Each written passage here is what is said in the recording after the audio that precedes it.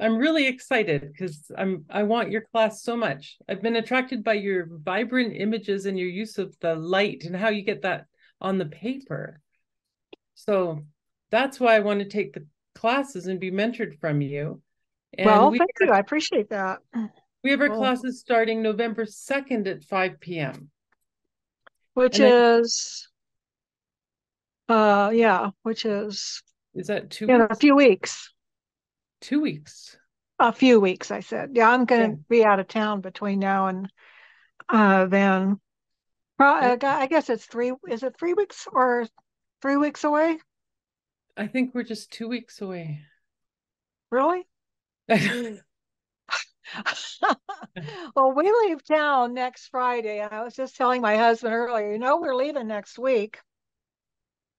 And he's, oh my gosh, is it that time already? uh, Where are you going? Uh, up to Sedona. We always go up. Uh, it's it's only a couple hours away, not even that really, but we always go up there for our anniversary week, oh, which is October the thirtieth is our anniversary. So nothing nice art, just nice stuff. Yeah, I don't have to sing for my supper. I just have to go and just relax. Awesome. Have I'll take my painting stuff with me though. Oh, you do? Oh, I always do. Yeah. Always. Yeah. Awesome. And when you're there and talking about what you were going to say you're doing tonight, do you just do the sketches or do you do the full, would you do a full painting while you're away? Uh, well, it just depends on what I have time for. So, um, I have something I can show you. There's one scene. Uh, hold on just a second. I'll be right back.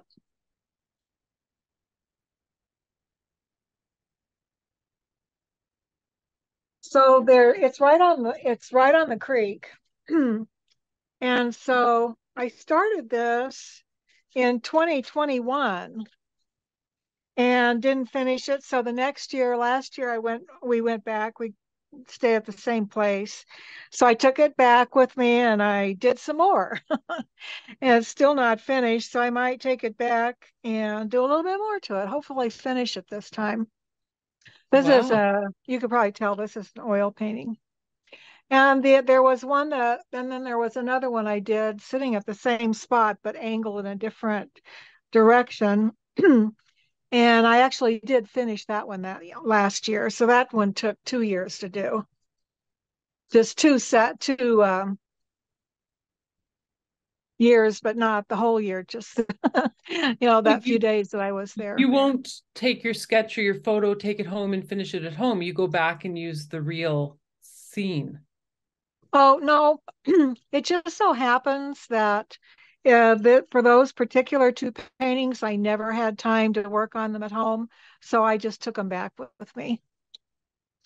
I have so many th- paintings that I start as demonstrations I have stacks and stacks of paintings that I'll never have a chance to finish.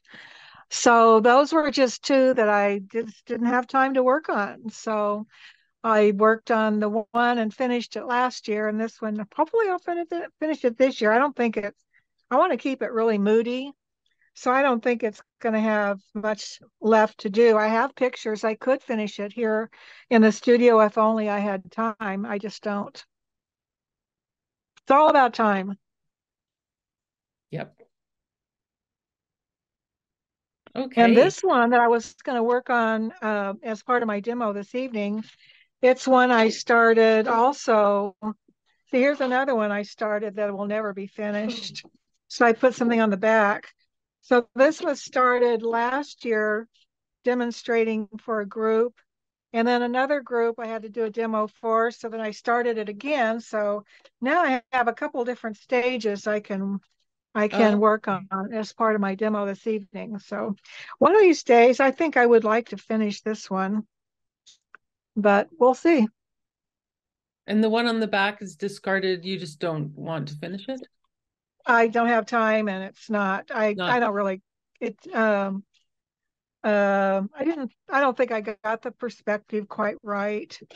This one also has a peony on the back that I probably won't ever finish. So maybe I'll finish one side. I don't know.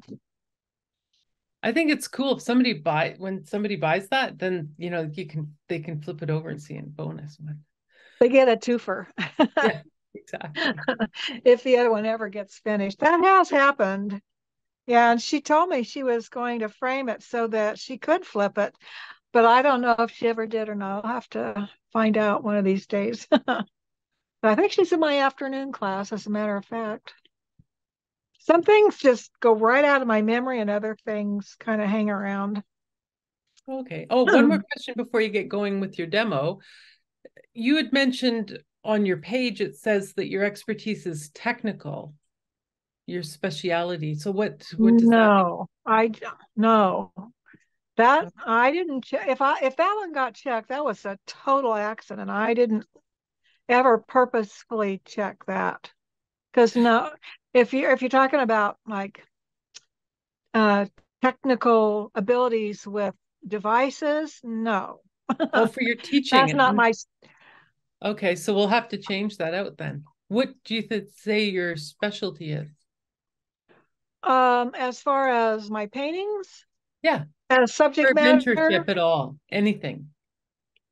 Uh, well, rocks and water are my favorite to uh, topic to paint. Um, as far as uh, teaching, I think my um, strong suit is that I can break it down into manageable chunks that makes it easier for the the student to grasp. That's important. So um, I don't know, maybe maybe it's technique rather than technical, but I'm not a super techniquey painting. Uh, basically, I try to um, simplify and push the colors beyond what you see and make it a little more atmospheric than what you see, stuff like that. Okay. Which is your use of light like that's what i see when i see your paintings is. Oh um well making sure you know where the light source is and being consistent. Hmm. so i do try to break it all down into the most simple components possible. Okay awesome so the first thing i was going to do was do a slide presentation or you know a screen share yeah so uh, do I have that ability? Yes, it looks like I do. So, yeah. So, um, just let me know when we're starting. I don't know if you're going to do an introduction or I don't know how we're going to. I start. thought that was kind of it. Oh, is that it? another intro. okay, that works for me.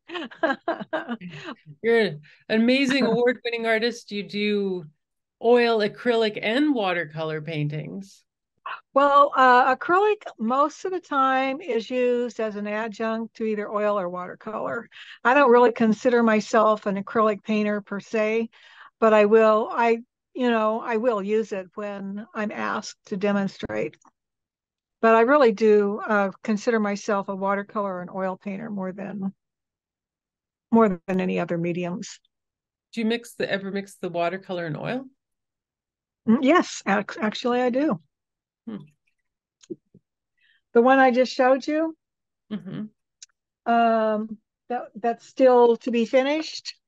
Uh, that was started with a watercolor block in. So if I'm plain, painting in plein air and I really can't take the oils with me because there there's a little bit more to uh, taking oil paints with you to a plein air site than there is watercolor. Uh, so what I do is just coat my canvas uh, with watercolor ground, either Daniel Smith or Golden, and um, then that gives me the opportunity to paint on that canvas with watercolor uh, because it grabs the watercolor.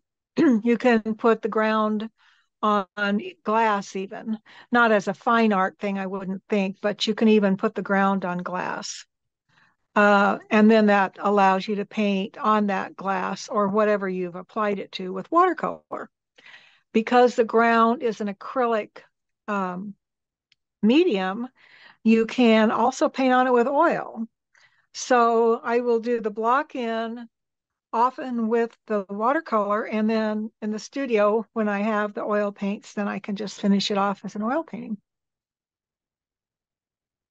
Cool. Nice background then.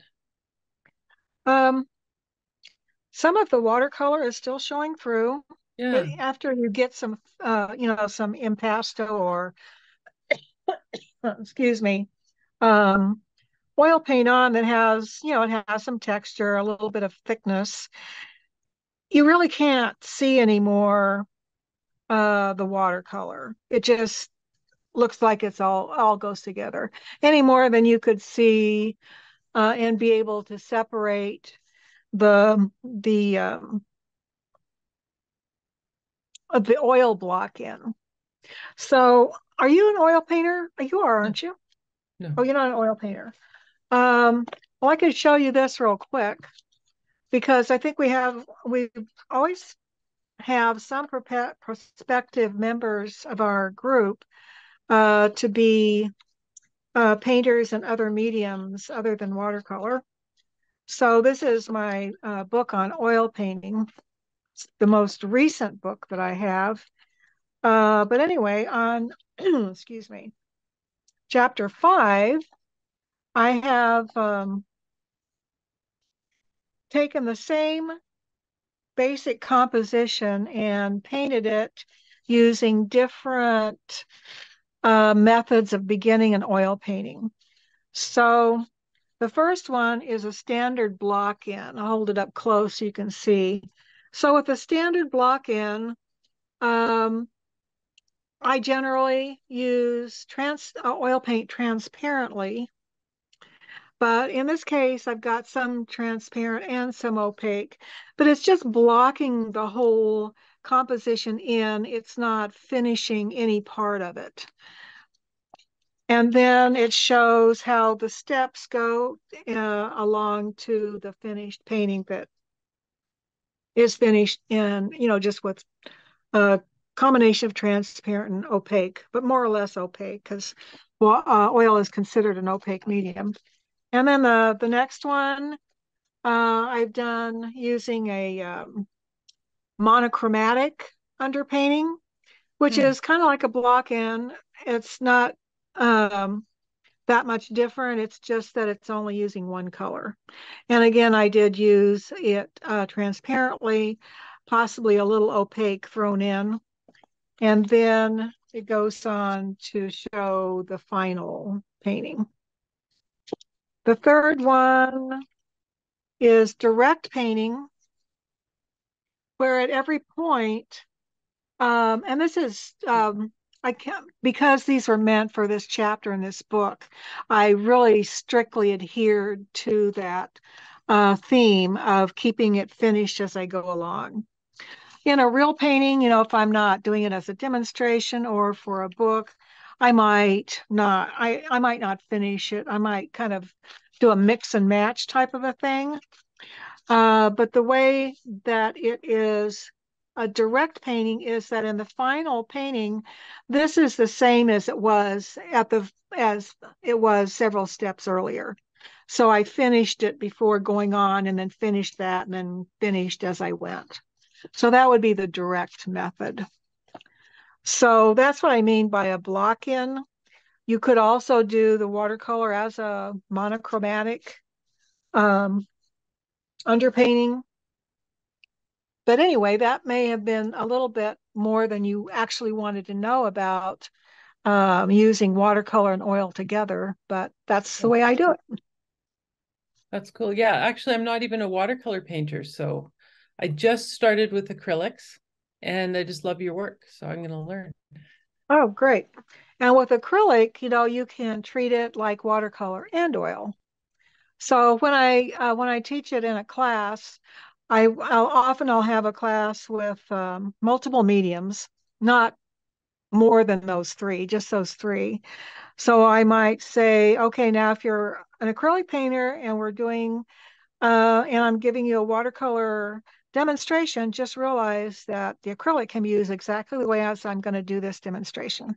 And I move to the oil and I'll say the acrylic is going to be used the same way as the oil. There are some differences, of course, because of uh, the fact that acrylic dries so fast. And so I might do a totally acrylic painting just so that people can see um, that there still is a difference between acrylic and oil, but um, paint is paint. You know, the biggest challenges are really uh, shape and value and color. So everything applies to everything. Okay. So is it time for me to do my screen share? Yeah. Well, your screen share is up. Oh, it's not yet. No. Okay. Uh, so I've got it queued up. Let's see if it will cooperate with me. You bet. And yes, there it is. So this isn't the one I wanted to show to begin with, though. Oh, I queued it up and then it's uh, now it's gone. Okay, wait a minute. There it is. Yeah. I've just got all these other little boxes, all these little windows in front. Because the first one I was going to show is this one. Um, need to make it bigger. There we go. So this painting is uh, a watercolor. It will be. It, it turned out to be a watercolor painting, I should say.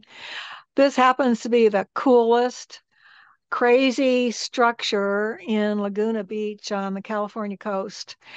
And um, so my my daughter had taken this picture and sent it to me. And then when I visited her, we went there and I went the wrong direction. Shoot. Let me get I got to get these faces out of the way so I can go back. So that so when we went back again, that was a picture I took. So the picture I took, the tide was in, and so you can see some wave action. And I'm combining this one with this one because there's no waves, but look at the cool shadows.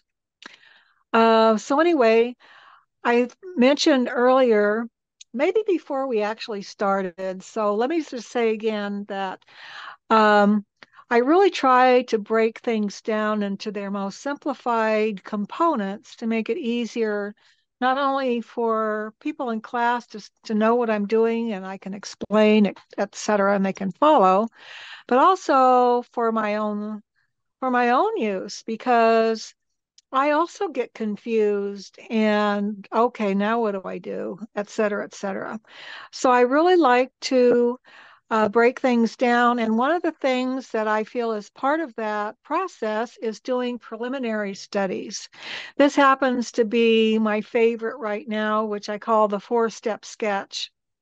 And so it doesn't take very long to do. And I will demonstrate that uh, a little bit later after I get done with this screen share. So there's my simple sketch. Oops, it went past. There we go. Uh, then I do the light values, and then the medium values, and then the final darks. So this really doesn't take very long. It's not about technique. It's just about seeing the simple shapes, uh, the simple values, light, medium, and dark, the simple colors, because we hmm. use only four colors, one red, one yellow, and two blues. And that simple light to dark watercolor approach. And so then here's the, the real painting, which I call the real painting. Now, sometimes my sketches uh, turn out um, well enough that I could actually call them a painting. And other times they, they don't turn out well at all. They're not attractive at all. In fact, they can be rather ugly. But when I see that and I realize that I'm not happy, then I have to tell myself or ask myself the question um, Did it do its job? Its job isn't to be pretty. Its job is to teach me about the painting to come and help me figure out some of the the downfalls I might be facing, etc. So anyway, there's a big difference in the drawing. The drawing for the real painting is more carefully thought out um, probably a little more detail. Um, and then I don't strictly adhere to that simple process. Each step is more nuanced. In this case, I used a little bit of masking fluid to make sure I had a few of the uh, spots of white for the foam. Um, then it went on to some medium values. Uh, you can see my arrow here that I can use as my pointer. So it doesn't strictly follow the rules that I set myself for the, the sketch. Um, sometimes I'll let this one carry into the darks um, before doing the mediums, uh, let's say for the entire picture plane. Um, anyway, um, I think that's, is that the, there's the final, there's the final painting. So I kept it loose and the um, study done ahead of time did help with that. So now I'm going to go back to this one. This shows, uh, now this is a picture that I kind of cobbled together by taking a, a, creek scene that I had from another painting and putting it into this pretty fall foliage area. I don't do that very often, but I had a vision. And so I structured the uh, pictures so that I had something to uh, look at while I was painting. And um, the what I wanted to point out for this one, and I think I went I wanted to show the final painting first, uh, because um, this was an oil painting. Started with an underpainting of acrylic, and I hope you can see in this picture yeah, I started with an um, by toning the canvas with a, um, a metallic iridescent bronzy color in acrylic. And then on top of that, I did the sketch with uh, paint, just with my paint and brush. And then started in with the uh, opaque paint and took it to its conclusion. I think this is the final the final version. But what I wanted to say was a couple steps back, perhaps even further back than this, somewhere in this area at this point, I started, um, my brain started acting like it tr- was trying to be a camera. And I was looking at my picture and trying to figure out how to do all those leaves. And then I realized, well, I'm not I'm not a painter of leaves. I'm a painter of shapes that look like leaves later simply because of the shapes. So at that point, I stopped and I went back and did uh, two quick sketches. I did a watercolor sketch. Here's the sketch, the light, the medium, and then the dark trying to get the composition in my mind and realizing that I didn't have to paint leaves in order to get that fall foliage impression.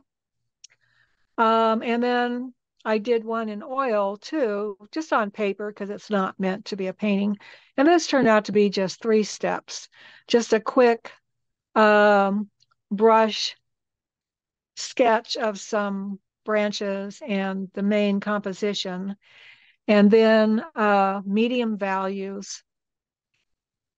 And then this is it, the medium values shown in black and white, so you can see the values.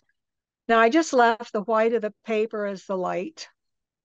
Uh, but then in this step, then I added uh, added some light value paint, uh, like um, white with a little bit of yellow mixed in for the sky, uh, some yellow with white mixed in it for the um, foliage, and just some pure white for the water. And then there it is in black and white. Uh, just to loosen up and get a better grasp in my mind of the basic uh, composition I was trying to uh, accomplish. And the fact that I didn't want any of this to show leaves per se. I wanted it to just be color and value with some branches that would help the viewer to see what the subject was. So um, I hope what I just showed you made sense. Before I stop sharing, did you have any questions possibly for what I meant? Or any questions at all, uh, Carrie Joe? No, it made sense, and I love your other studies. Um, there, you know what? I my I'm gonna stop sharing. My um thought is that um you really do need to learn how to do the studies, and maybe they'll take a little time at first, but learn to do them so that you can do them very quickly. Once you can do them in 15, 20 minutes, then they become fun. And because they're fun, then you'll do them and then they'll help you. I know so many times people don't want to do the studies because they really labor over them because they haven't learned how to do them quickly. So they labor over them, and then at the end of this process of a long, uh, drawn out study, they're done. They're tired of the whole. They're tired of the whole composition, want to move on. So the study hasn't really helped them.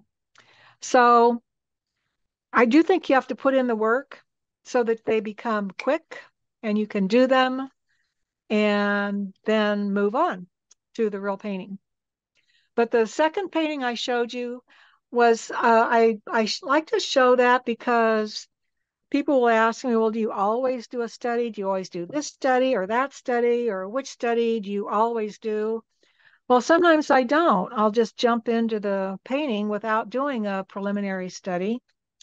And then uh, maybe it works out, maybe it doesn't. And so often I find myself in trouble.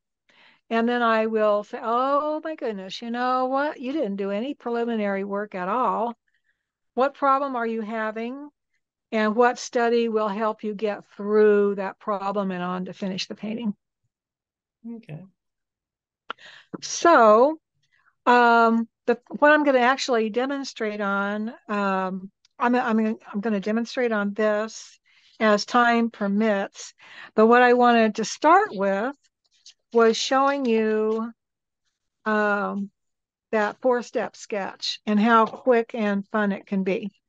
Um, and of course, I always hope that it will work. Sometimes they look horrible. This is my photo. Uh, see, I'll hold it so you can see it a little bit closer. Mm-hmm. And I really try to come up with a picture that I can, that lends itself to simplification. Uh, let's see, I did want to, what did I do with those pictures? Because I wanted to show you the original picture. This was a from a hike we did last fall and so I, as we do this hike, I've done it um, gazillion times. It's so beautiful, but pictures, of course, never really do it justice. So this was the picture, and I decided I really wanted to focus on that portion of it. And so I um, cropped it and flipped it and intensified the values a little bit so that it's not so washed out looking. And I thought this would be a good composition and that I could simplify. And I did do the four step sketch before. That's what I came up with. And that uh, that showed me that yes, I will be able to do this composition as a painting. It's not a painting yet. This not isn't bad, but it doesn't really satisfy me. I really want to get in there and use some of the watercolor techniques that we have at our disposal, uh, such as the difference being um, I use some splatter here to get the um, to get that white water, and that's negative splatter, not positive. And what else did I? Oh, I used some salt. Uh, little, oh, there we go. So I use some salt, gives you a pretty uh, texture. I use some masking fluid to make sure I caught the light on the branches. I did this a couple of different times. This one hasn't been taken as far as the other one, but you can still see the masking fluid on there. It's been on there for a long time, but I think it'll still come off. I use brighter colors, but it's basically the same composition. So we have techniques and materials and stuff at our disposal to take um, take a composition as long as it's got good bones and give it more atmosphere, you know, do oh uh, creative color, etc. But right now, I just want to get a feel for what is in front of me. Um, so this is not about technique. This is just about getting the bare bones on there in a simplified way. Um, so I'm going to try to do this real quick. So I, I know this probably is not going to be, it's not going to be all that attractive probably, but that's not its, that's not its job, right? So there's the, the big boulder. There's the tree. And I can promise you that when I do a drawing, I spend a lot more time. I can spend, I don't know, an hour or two just getting the drawing the way I want it to be. So I'm when I'm as I'm doing this, I'm also doing a lot of squinting. When you and when I say squinting, I don't really mean um, scrunching your face up. What I mean is lowering your eyelids. There's that main waterfall. Let's see, it comes down there. Oh, the other thing I did with this picture, uh, I took a waterfall from another picture and cloned it in because I really wanted a waterfall there. There wasn't much of one in the original picture. So there's the, there's the waterfall. There's a rock. There's the the bubbling water coming away from it. There's a, the roots kind of coming out. There's a rock here. Uh, that's it. That's all I'm going to do for the sketch.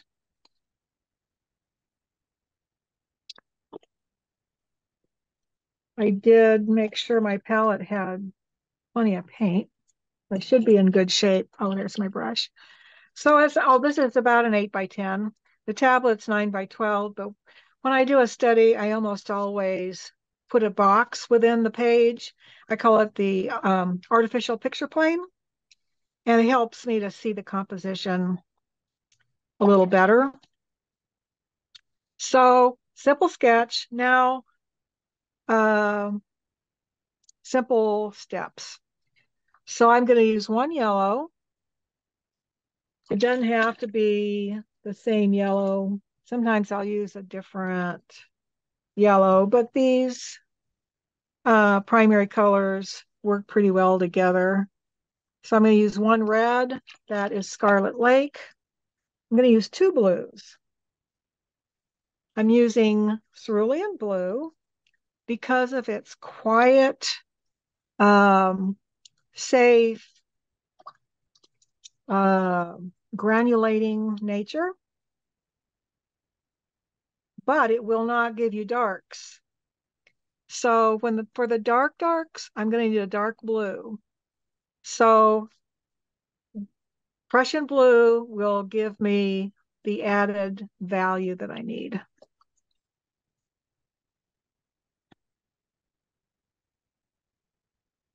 So I think I've got this set up so you can see my tablet and my palette at the same time. Nice, yes.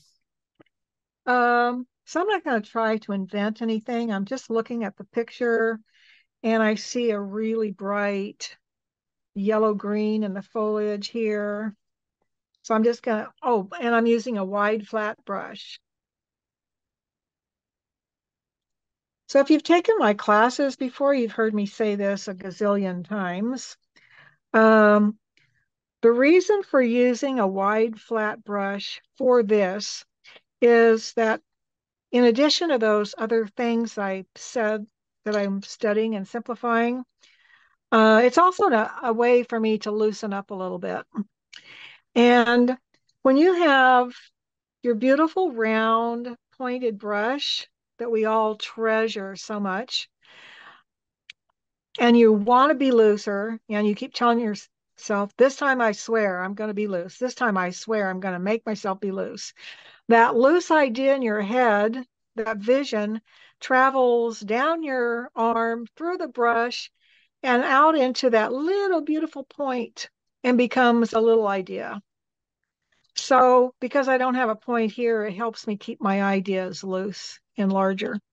I hope that makes sense. It might sound a little weird, but that's the way I think about it. There's some orange up here. Just put, uh, maybe a little, needs a little more red. Just put it where it belongs, not trying to be uh, creative. It's actually there. There's also some yellow up in the upper left-hand corner. And then there's a lot of gray. So I'm just going to add the cerulean blue to that warm red to get a grayish color. And again, just going to put it where it belongs. So when it comes to value, uh, we're looking at value in both overall and relative. So uh, by that, what I mean is, let me get let me get my lights on here, and then I'll show you what I mean. Let's see. There's a little bit of gray there. And it doesn't have to be, and I, you can see I'm not using any brush technique per se, just, just putting the shapes where they belong um, as I see it. I think the bottom of that waterfall needs to have a little bit of value.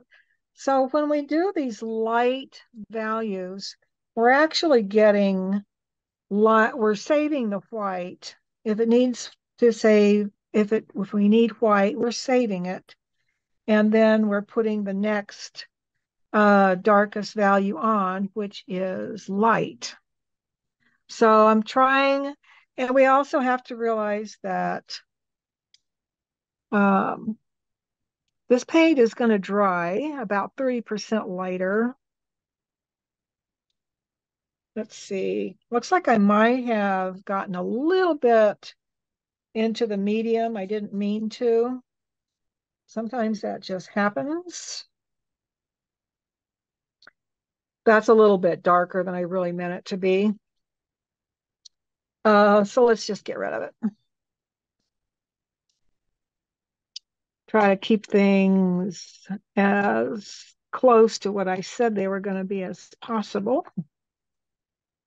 And you can see that this is definitely not the time to get precious with this. So I'm gonna um, say that's my light. You can see it didn't take very long. So if you look at the entire picture, the, the lightest light is the bubbles here and maybe a little bit in the streams of water. So we want to save the white and everything else is light, medium, and dark. So I'm putting the light on and the next step will be the mediums and then the dark.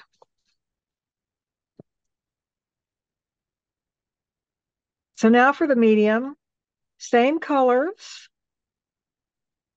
And I'm trying to go pretty fast with this because I want to get to the real painting so you can see some of that um, the technique that I would use in the real painting. So I still have not used any of the dark uh, blue. And I'm, so I'm still using the same colors, just taking it up to the next value, or I should say down to the next value. We usually think of of uh, darks as being uh, lower in value. You know, high key, low key. So this probably looks kind of dark. But remember that it's going to dry about 30% lighter. Also, don't forget that right now we're comparing this value to lights and mediums that are lighter than this value right here. So we don't have any darks for comparison. So once we put the true darks on here, then we'll really be able to see that these aren't really that dark.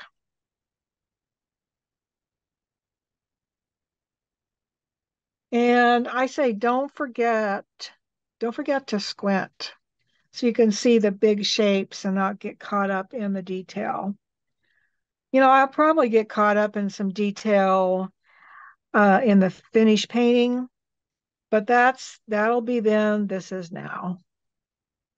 Right now, I'm trying to keep it uh, loose and strictly following the guidelines that I have set out for myself.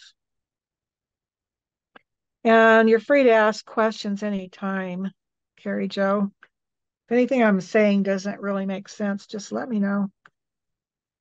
I'm just watching. So, I haven't tried that stuff, so but I'm all keen. I have a little creek here with some waterfalls in it. So, and I uh-huh. thought it was way too complicated to even attempt. Well, so, it is it is a complicated subject, but it's my favorite, and so I've studied it more than anything else. And um, practice really helps you to learn, you know, about the subject and learn, help you learn to simplify, etc. So let's see, I'm looking around carefully. I don't have that much medium in this painting. Um, oh, I didn't put this branch in.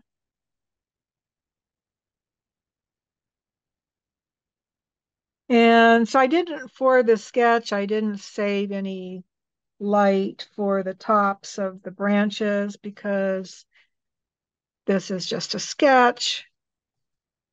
It's not important to do.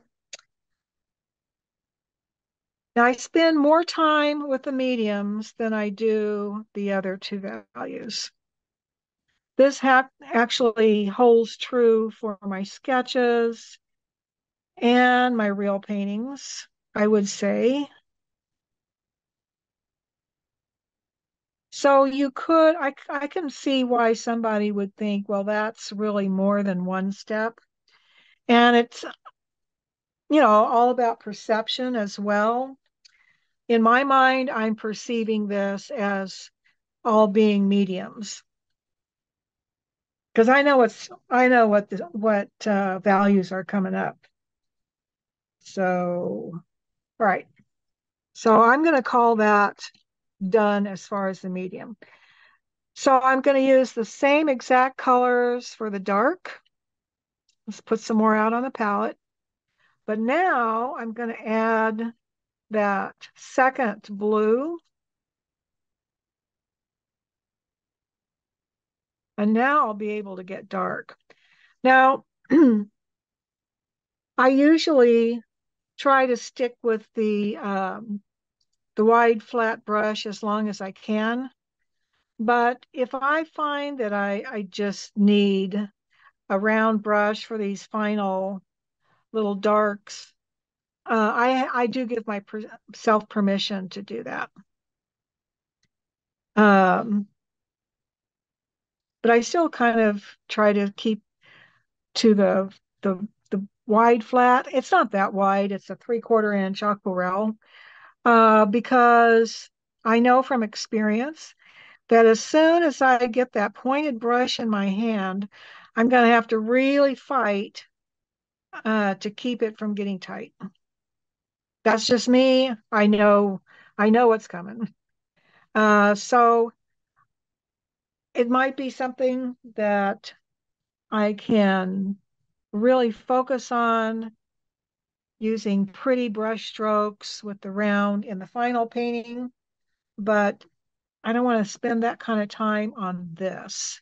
I just want this to be kind of down and dirty. So I'm looking at the branches. Let's see, there's maybe a little dark accent right there. Uh, I don't want to overdo it with the darks. I do have a tendency to, to do just that, so always trying not to.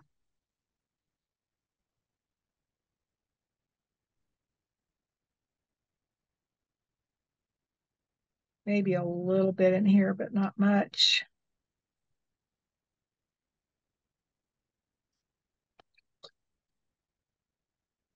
So for this demonstration, I think that's fine. So show you if now if I did 10 of these, I'd have 10 different ones. I mean, uh, none of them would be the same. This isn't the actual sketch. This is just a photo of it, but you can see they're pretty pretty similar. So the test then is to squint and look at the picture, the photo, and the sketch and see if in some fashion did I capture the uh, the essence or you know the um, impression of the scene. Did I get the bare bones? If I did, then that's great. If I didn't, if I really went haywire, I could always do another one. But it doesn't take very long. And I personally find these to be a lot of fun. So before I move on, are there any questions then about this? No, how many will you do in general before you do your painting? Oh, probably not more than one of those four step. If I get into the painting and find, let's say it's a herd of cattle and I'm just not doing a good job on painting a cow, I might stop and do a painting of a cow or a sketch of a cow. I might do a value sketch. Um, so it just depends on what I feel I need to do to make the painting a success. If I start getting tight, then I'll do something different. So this is a document that I've put together uh, since our last group, I believe, Carrie Joe. But this is um uh this show, this is just how many do I have? I've got 12 different preliminary studies that wow. I've illustrated. So there's a NOTAN, there's a value sketch. There's another value sketch only using a different tool.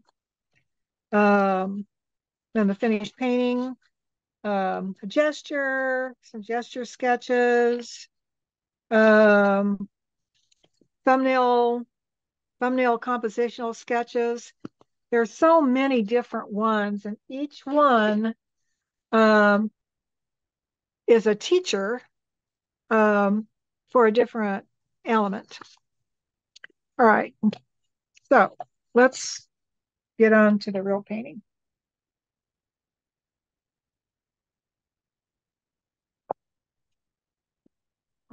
Slipping off my chair here.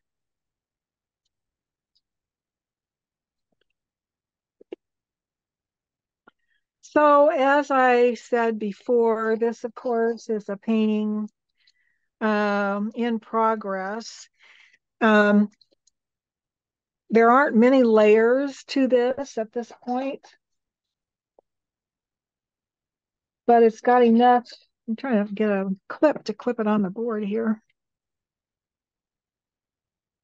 So I'm going to take the masking fluid off.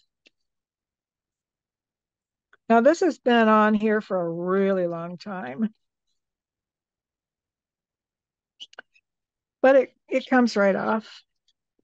I know some people say that you can't leave it on more than a day or two. Um, that's not true. Although I will say, you know, I live in Arizona, so it's pretty dry. Uh, so if you live in a humid environment, that might make a difference. I haven't lived in humidity in so long that I wouldn't be able to tell you, but that kind of makes sense that um, human environment would be different. So I'll leave that on for the time being. So when I do paintings as demonstrations or even uh, on my own with nobody watching, um, and I'm doing them from photos, what I do is um, I'll have um, an ID number um, every painting gets an ID number. And then that same ID number goes on the picture. And I take pictures of the process. I'm trying to, somehow they fell to the floor. I'm going to dip down here. So these are the, the, the, pro, the progress of this particular painting. So I keep it all together. And then when I go back to painting it, then I have all the all the stuff that I need. Including, this is why I mentioned it, including the paint, uh, the colors that went into this painting. So this was a demo, so I kept the uh, kept to a very, very limited palette of two yellows, two reds, and two blues. So I know what's already in the painting that that can be very helpful. And let's see, I need, I used quite a bit of paint for that demo. Didn't seem like it, but I did. So the, the paints that I have for that particular painting, I usually try to keep them together. So these are the six colors that went into this painting so I can grab them really fast. So I'm telling you all this because um, what I really have found is that painting is hard.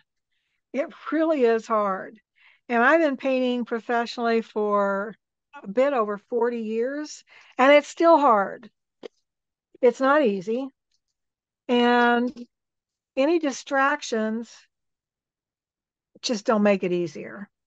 So at least I know what color, so I'm not distracted by, oh dear, what color was that? I know what colors. Not that I'm trying to mix the same exact colors. I don't. I think you can see my by by my background that I like a variegated um, uh, variegated washes with different nuanced um, mixtures. So I'm not after the same exact color, but I want to know what went into those mixtures.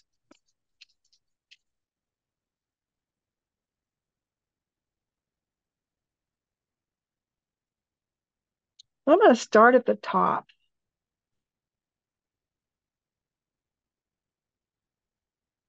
You can see how easy it is to make uh, brown with with primary colors. Now I don't really want brown, so I'm going to edge it back.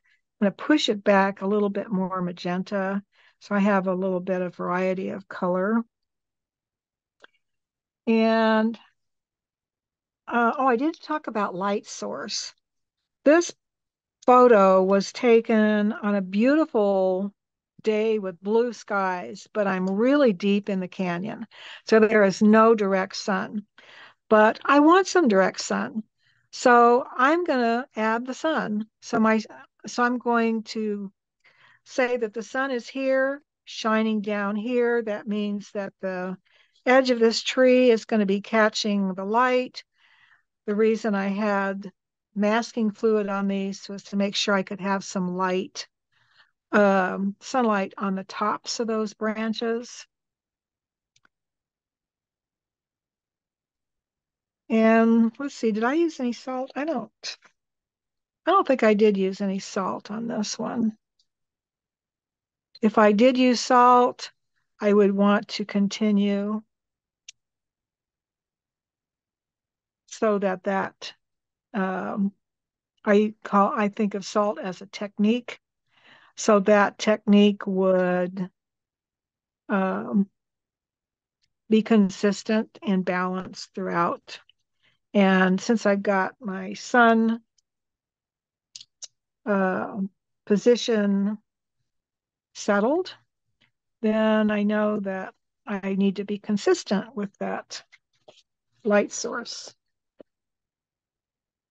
Now, I don't feel like these little twigs need to have light on them.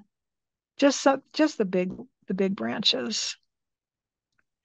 So far, I'm just painting on dry paper. I'll do a little edge softening.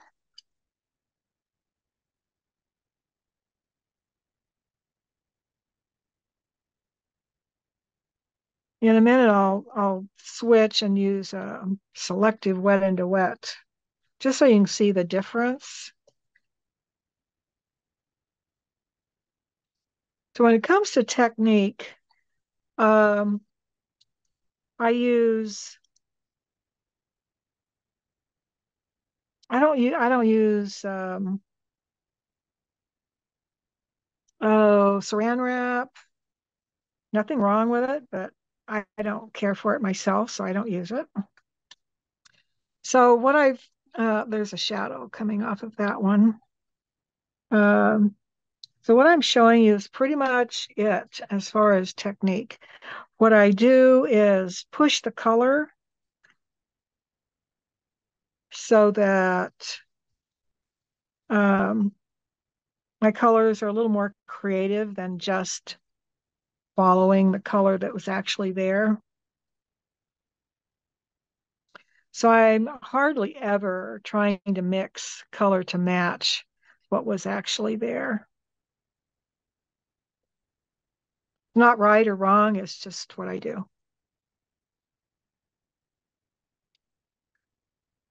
So it looks like I probably need a little, let's put a little, let's drop in a little blue, little cerulean right there. So now I'm going to switch to selective wet into wet. So that was on dry paper. Um, but anytime you put brush to paper, almost almost any time you have a decision and an option of wetting the paper first. So now that's wet with clear water. Now I can drop the colors in and just let them spread. When the paper is already wet, it gives you a lot more time to manipulate your washes, a lot more time to work. You don't have to feel as rushed. The paint will only go to that wet, dry edge. It won't go beyond.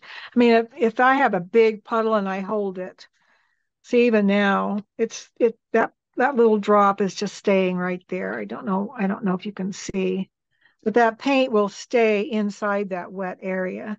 So that's uh, a big part of what makes it a um, gives you more control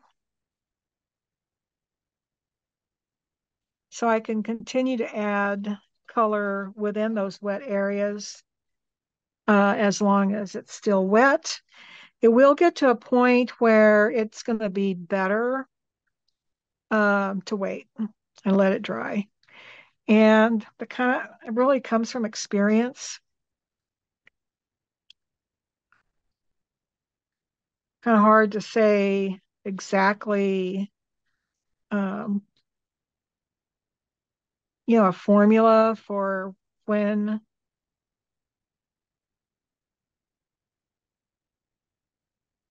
or how.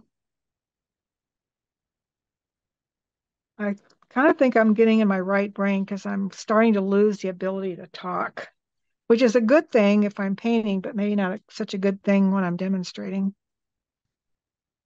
So I've worked the color of that trunk down into those twigs and all that flood debris that is caught up Uh, caught up there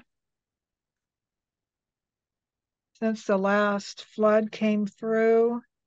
And then when that's dry then I'll do some negative painting to pull it out. So you can see all that flood debris. So I'm doing the big shape first.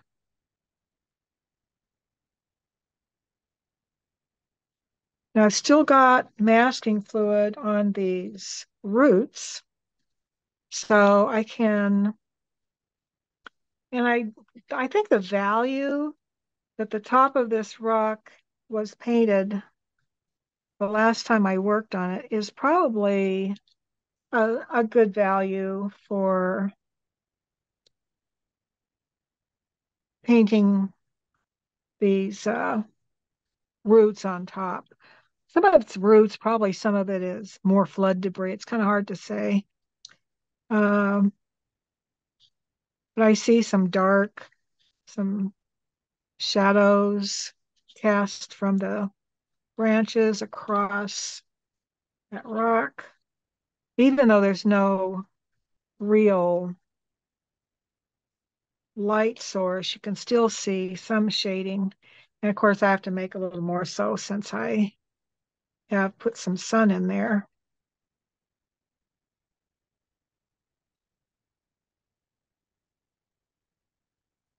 I think I want the base value to be a little darker before I put in the negative painting. So I'll just add a little more value.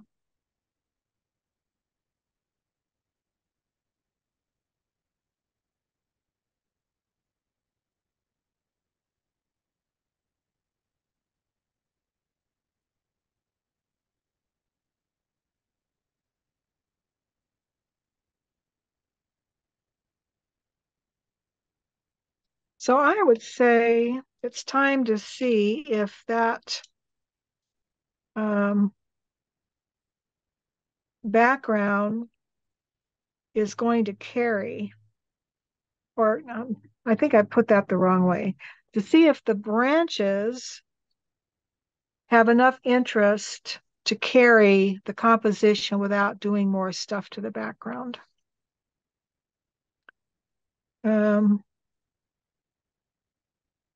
Maybe I need to do a little more down here. Let's do a little more shadow before I do that. And I'm still using those same colors. Since the masking fluid is holding the shape of the um,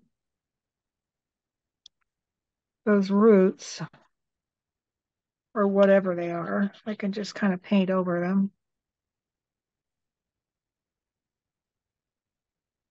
Let them dissolve into the plane that faces away from the sun.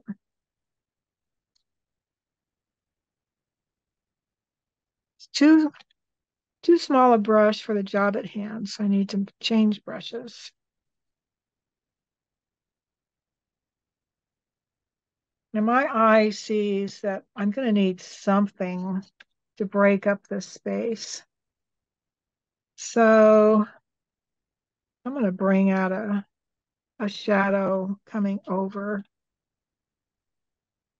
and hope that works.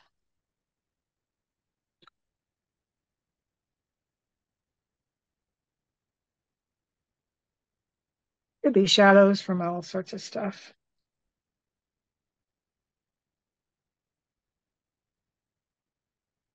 Nice.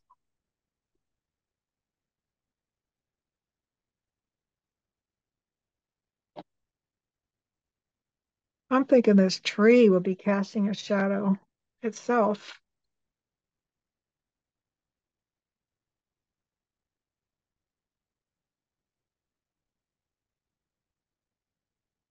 I want a little bit of the edge of that rock to be light, so I'm going to bring that shadow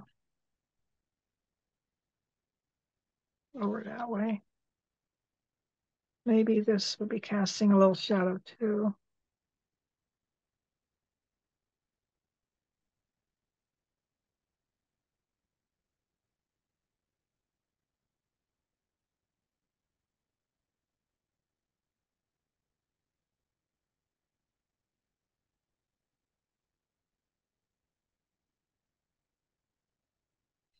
Okay, this is now too wet to continue working.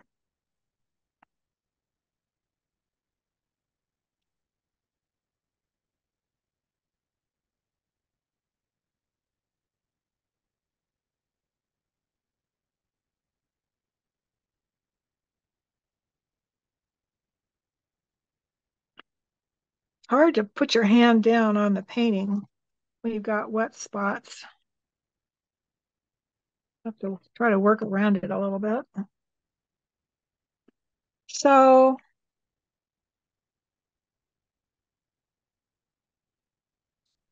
again, working on dry paper. But a minute ago, I said Joyce had that option and um, decision to make regarding wetting the paper first. so that was on dry paper, but you can wet little sections of paper as well. So I'm just going to put some clear water on this little branch.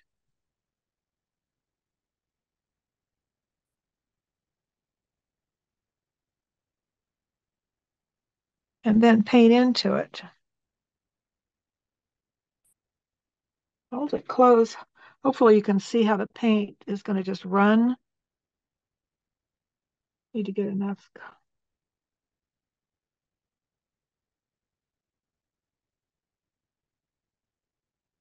Sometimes you have to encourage it. So it's a, a slightly different look. Going to be a little bit lighter because the water that's already there is going to dilute the color.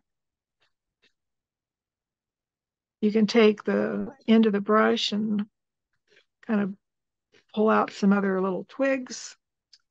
But it's uh, very uh, useful to know that water seems to be our enemy when we're doing watercolor, but it also is our friend.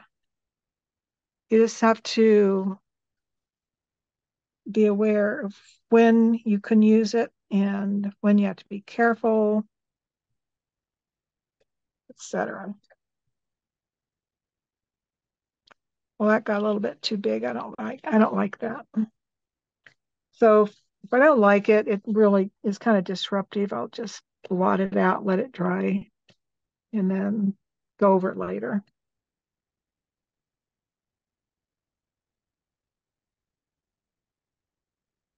So if I'm going to do um, branches, I usually will do a little uh, branch and twig study first because I don't, they're not my strong suit. Um, I find they can look so stiff.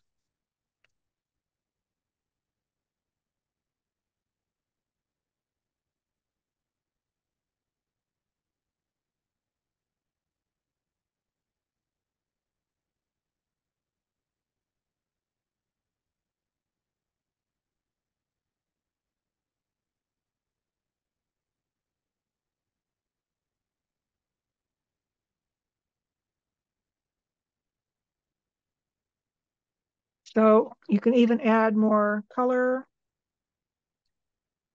to color to color. Doesn't have to be white paper that you paint wet into wet into.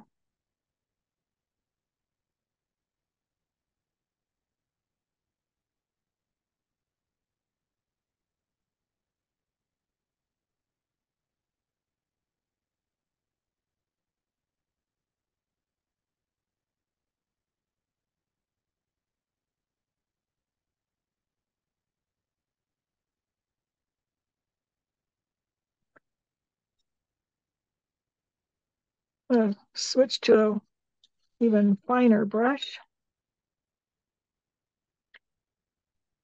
And having a limited palette too, uh, I find particularly helpful because then I don't have um, that many decisions to make. I just have so many colors. That's it. I already made the decision. So I just do it. When you're doing branches and twigs, you should have overlap. Uh, don't make a fence.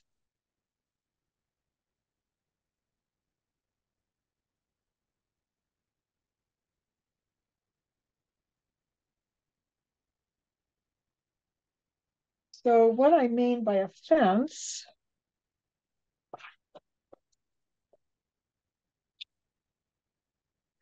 you know, I try to make branches that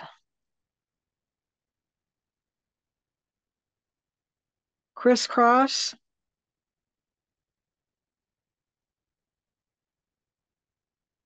That's not very good, but hopefully you get the idea. Not like this. And not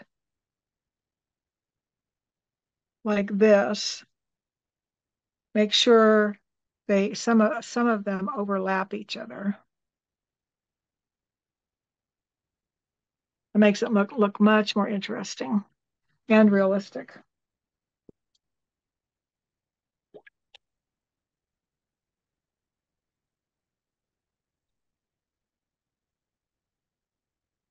Let's see.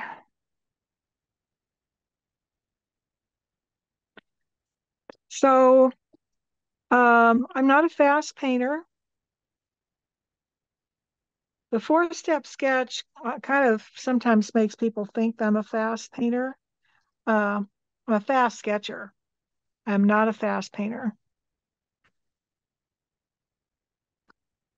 I have because I have a particular way that I want the painting to look, and it takes um, might not take other people a long time, but it takes me a long time to think things through and um,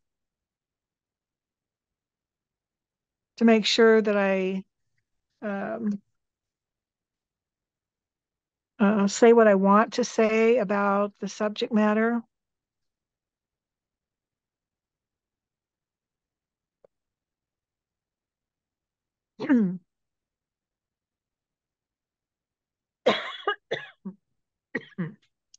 Excuse me.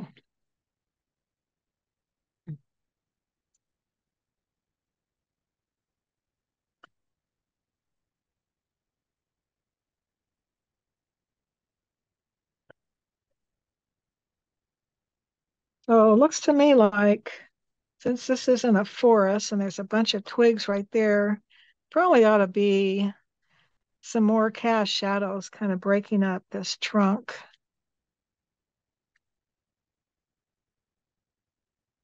But again, I don't want to make a, a fence with my shadows. Try to keep them, uh, try to keep everything as asymmetrical and uneven as possible. Maybe some up here.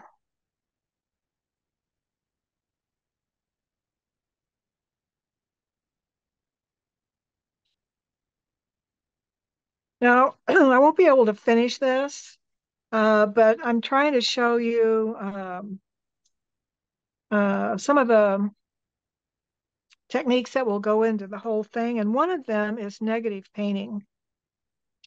So I think this is, it, it may not be quite dry enough, but I think it's dry enough to do a little negative painting in here.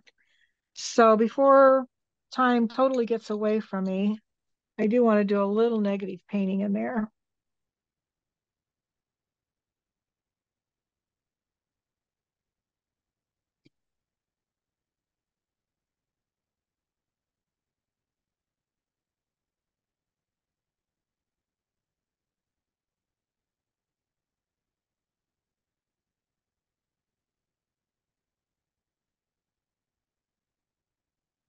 just to give it some depth. I got a little bit carried away there, didn't it?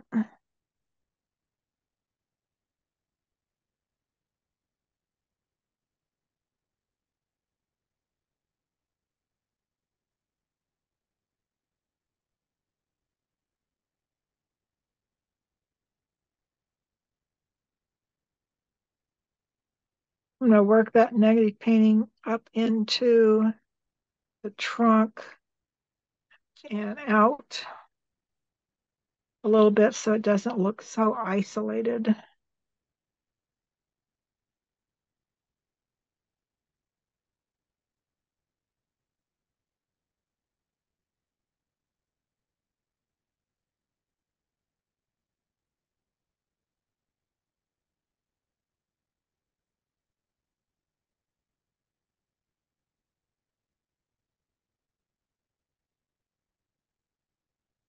There's still some masking fluid up there, up in here, which uh, when I take off, it's going to look very, very um,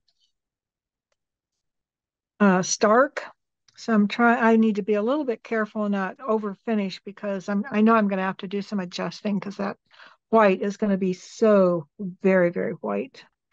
So um, as I look at the photo, I can see that there's negative painting in here, there, you know, negative shapes. And then it switches to darker twigs. So I'm going to do a little bit of that.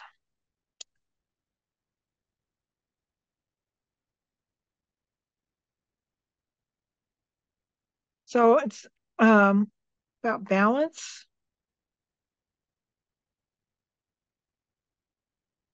Balance of technique and weaving them back and forth so that um,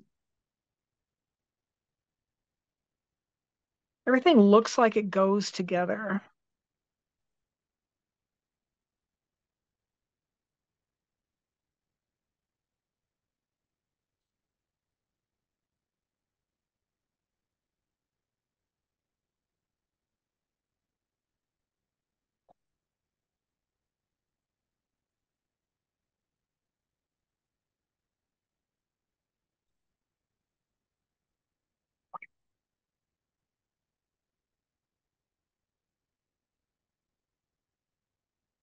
Are we about out of time, Carrie Joe? Well, we've got about an extra five minutes because we started late. Sorry. Okay. So you can just add some tips for wrapping up and. So we didn't really talk about rocks. Um, I showed um, preliminary study, but my favorite one. Uh, some wet on dry, some wet and wet. Talked about light source, a little bit about cast shadows, not too much. Um, Is this the first thing you're going to get the Mastrius your your group to do, or would you do you have that planned yet? You know what? Um, well, we don't really know yet uh, if we've got oil painters and watercolor painters, mm. or just oil painters, or uh, it's going to depend on, um, and we don't know what people want. So I haven't got um, a plan in place at this point. Okay, so we get to direct the class. Yes, ma'am, you do. Um, so I've got one rock here that hasn't been started. You can, I think I've got time to start on a rock. um, this rock already has its base coat. This rock had a base coat and then I added to it with the cast shadows, etc. Matter of fact, I think I might need to do a little lifting here because that tree, lifting is a big part of what I do. That tree, if it casts a shadow this mm-hmm. way, it's going to cast this way. Probably need to see a little bit of the edge of that cast shadow.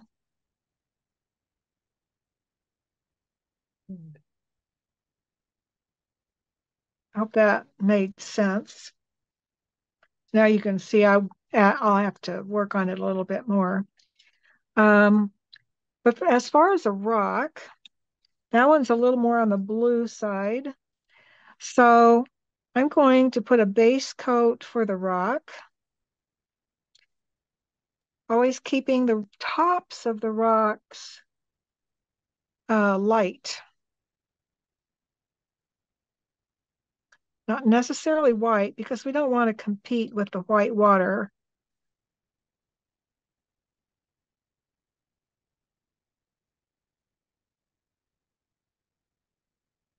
So this rock is in front of the waterfall and it's in front of this other rock that's um, right here.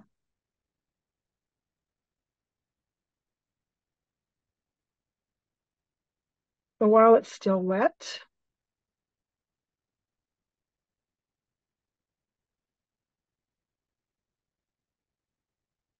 I'll start modeling it.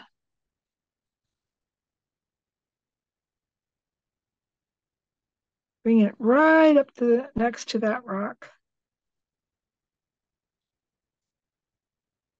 Making variegated color.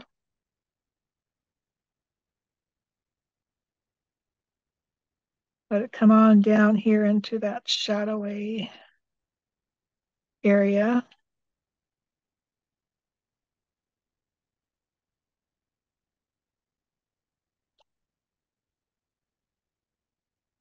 It's going to be a little smooshy down here because it's all uh, shadowy back in there. So I'm just going to smoosh the colors around, knowing that later I'll be coming back in with more negative painting and bringing those uh, lights out.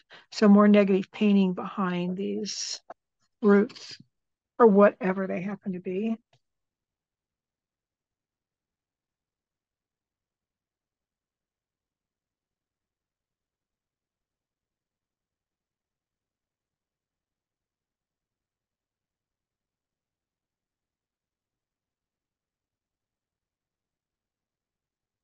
And then this rock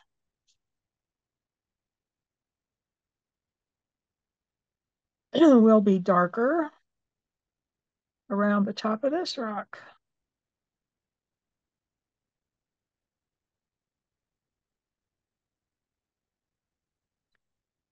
So I would think that from this you could probably tell that I spend quite a bit of time getting the drawing correct.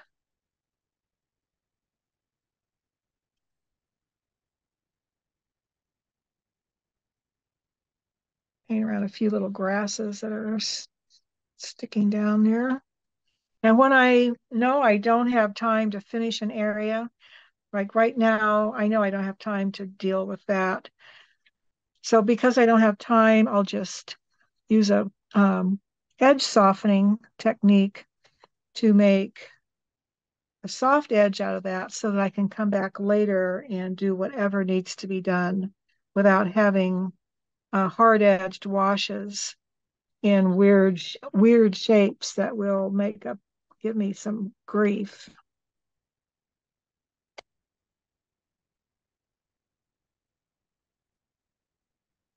Maybe bring a little bit of that into that rock.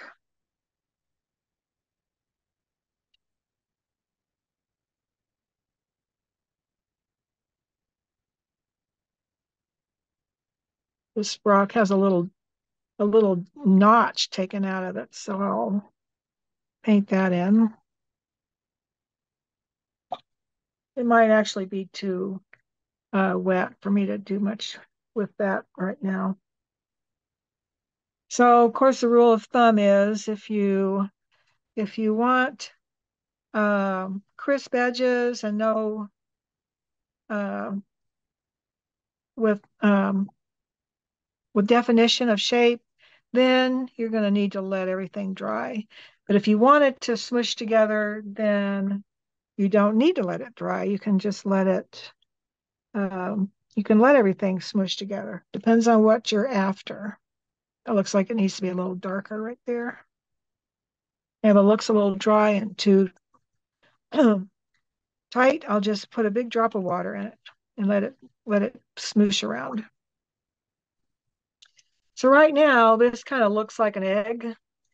Uh, but when it's all dry and I go and I start modeling that rock by having, by darkening the planes that are facing away from the light, uh, that will help that shape to look uh, rockier. So there's a lot that still needs to be done to this. Um, one thing I didn't show you tonight uh, is negative splatter. And I think we, I don't think we have time. I'll just show you that that's negative splatter. And I use negative splatter here to push this back to have this foliage come forward. Um, but that would be something that would take um, another, I don't know, half hour, I suppose, to show. So, yeah. Yeah, yeah. We'll definitely, yeah, definitely do that in class. And um, I've probably taken up more than the five minutes. But even at this uh, early stage, it's helpful to put a mat around it so you can get a better idea of the painting as it might look if you do this, that, or the other thing. Um, like I said, I'm hoping that if I continue these branches, you can see in the picture how they really extend out. And they're very interesting shapes. I won't put all of them in, but if I extend those branches, um, finish the rocks, maybe a little splatter for texture, I kind of think that um, that will hold the composition. And by that, I mean have it look like it's uh, not, you know, unfinished. Uh, but only time and more work will tell. Cool. I'm going to go down to my creek and look at it differently. I'm going to look at it in terms of just block shapes and color and see if I can and if you have my if you have my book or my chapter on the subject, um, it shows how I break the creek itself down, or a, a creek, you know, a water cascade, a waterfall, break it down into simple shapes that make it a lot easier to draw and paint. And that is is that your book with oil painting, or do you have a different one for watercolor? Um, that would be, I believe it's in both. Um, so let's see. I have a chapter, a standalone chapter that's uh, devoted to that topic. Um, but part of it is in this book. This is my watercolor book called Watercolor Unleashed. It's available. It's no lot. If it, if you get it in a hard copy, it's probably going to be a, a secondhand. Um, but it is available as a digital you know, a Kindle or an ebook from Penguin Random House and Amazon. But anyway, here's where the way I break the creek down into its simple components. I call it the anatomy of a, a waterfall.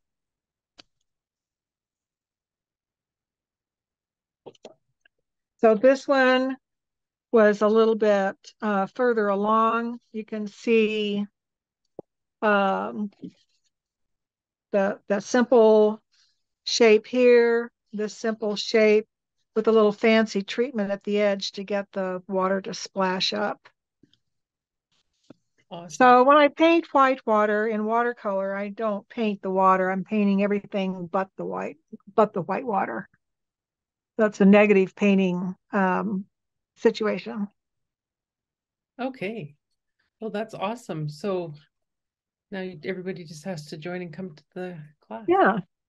Yeah. So, you know, painting is um, my favorite thing. I think painting is fun, but it does require a, a commitment. Um, you know, it's it is a lot of work, but it's fun work and it's challenging. And I think if you are a person who paints, you're the kind of person that thrives on challenge. So, um, yeah, I hope people will join us.